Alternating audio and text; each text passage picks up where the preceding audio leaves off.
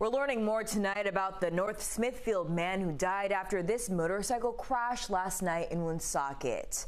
Police believe 20 year old Joseph Rossi lost control of his motorcycle before going off the road and hitting a pole. This happened on Truman Drive in Woonsocket.